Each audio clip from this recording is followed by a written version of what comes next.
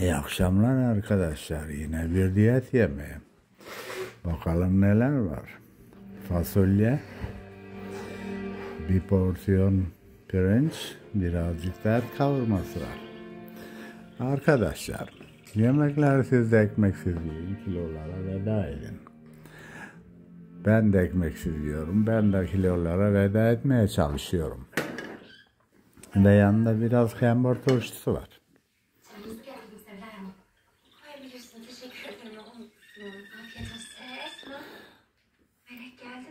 Arkadaşlar videomu beğendiyseniz like yapmayı, abone olmayı, bilhassa kendinize iyi bakmayı unutmayın. Bir sonraki videoda görüşmek üzere. Hoşçakalın.